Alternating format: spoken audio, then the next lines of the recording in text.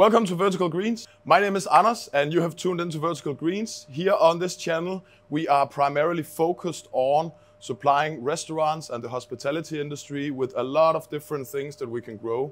And we are showing you how you can grow it as well. You, you are going to learn in this video what Growpipes is and why they're awesome. Because a few months ago, I was at a fair at Vertifarm in Dortmund. And in Dortmund in Vertifarm, I met a lot of awesome people in the vertical farming industry.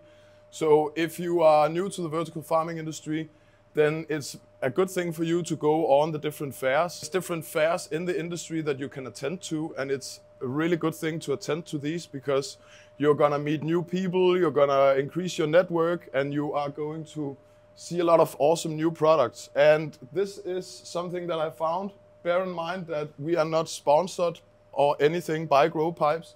We really like their products, so that's why we are highlighting them in this video. And yeah, so Growpipes is basically like a kind of like a Lego set. You get these tubes and then you can mount them on top of each other and then you can create these designs where you can put up an NFT system in a small setup like this. So that's what we did. And yeah, if you are interested in working with Growpipes or think this is a good idea, then we put a link to Growpipes in the description. And we are also going to put them on our website, nordichydro.com, so you can buy them there if you want to do that. Um, it's pretty, pretty simple the way the system works. You have these modular pipes that you can mount on each other. And then you basically mount them like this. So you have one and then you have 180 degrees, then you have another and another, and then you can you mount them. We have mounted it like this. You get all these pieces as well. And then basically in the top there is two little holes here in the system. Then we are going to set a tube going down to our irrigation tank where we keep our water and fertilizer. Then with a pump, we found like uh, we're using the Sika pump. Sika, I don't know if it's pronounced correctly, but we found that the Syncra silent pumps, they are really awesome. They work really good and they don't break that well. So we put that pump in the bottom and up here, the water is gonna come. It's gonna connect to a hose as well. And then this hose is going to connect with drippers in each of these holes. So in each hole, you see the water will trickle down. And then on each side, this system will be irrigated all the time. We're gonna put like uh, 220 centimeter LED grow lights on each side. And then we're gonna grow some edible flowers. We're gonna grow some herbs and some salads maybe.